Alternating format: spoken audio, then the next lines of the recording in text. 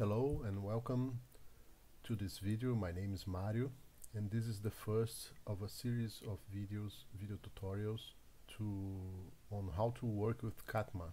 CATMA is Computer Assisted Text Markup and Analysis.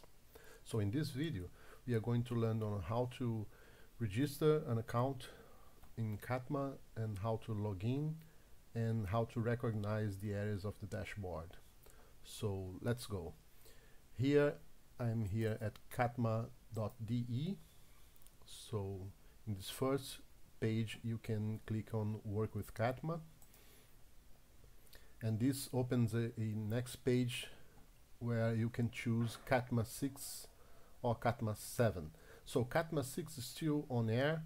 We, we are today it's the it's September 9 2023 but you can crea cannot create new projects on Catma 6. You only have the old ones, uh, so if you have a, an account on, on Catma 6, the projects will soon be migrated to Catma 7. If you want to start new projects, you can, um, as of today, you, you must uh, register on Catma 7. So let's click here. And then you can click on sign up. It's a simple sign up. Um, scheme so you can uh, type your address email address here and click on sign up. You receive an email to activate your account with a, a, a to set up a password.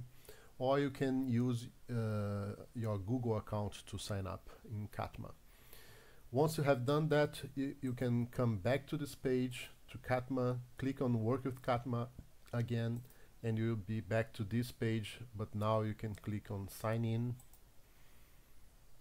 and then you enter your information, uh, username and password and click on sign in.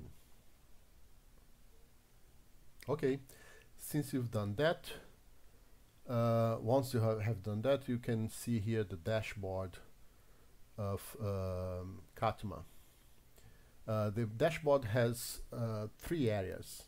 The first area is the, the main one, this white one, where you can click on create new project you can join a project if someone has invited you to join a product project or you can enter uh, an existing project that you have. Okay they will be listed here in this area. Uh, the second one is this lateral menu which is not available now because you, you are not inside a, a a project, not working on a project, so this menu only is only available when you are working on a project. Okay, and the third area is this uh, this uh, dark bar here at the top. Uh, in this dark bar, you have a the Catma 7 here. So when you click here, you come back to the dashboard. So for example, if you are working on a project, see the menu now is available it's activated. And if you want to go back to the dashboard you can click here and you are back to the dashboard. Uh, and other uh, and oh here and also you can uh, manage your profile here clicking on the top uh, right corner and click on edit account. You can edit your public name and that's only that. You can't uh, edit your username or you can generate an access token. Um, an access token is used when you want to to to give access for to your data uh, from a, an external system. So this system will be able to access your data uh, through this token uh, and collect all the, the, the read-only access they will have only read-only access to your data and your projects. So they can't um, change your project. So uh, it's yeah it, so that that's uh, a possibility if you are working with other systems to collect data and and keep your data in other sites okay?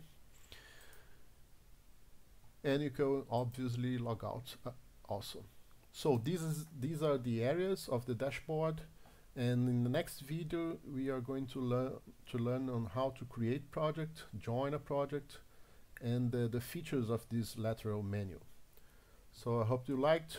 Thank you for watching. Bye bye.